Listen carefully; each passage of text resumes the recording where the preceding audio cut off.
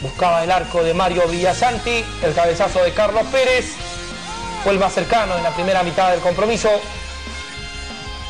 El remate de Mauro Cantoro también, que pasa lejos del arco defendido por Villasanti.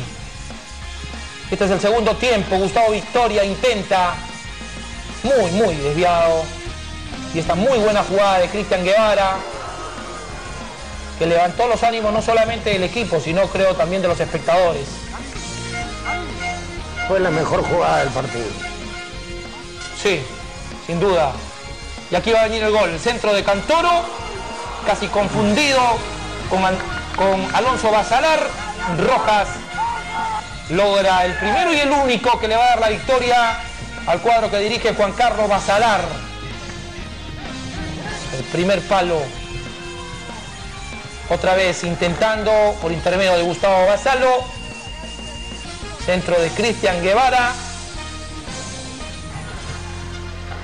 Y creo que nos vamos a ir discutiendo con Carranza. Para Carranza, Cristian Guevara. Yo me quedo con Alonso Basalar. Bueno, fueron los dos mejores.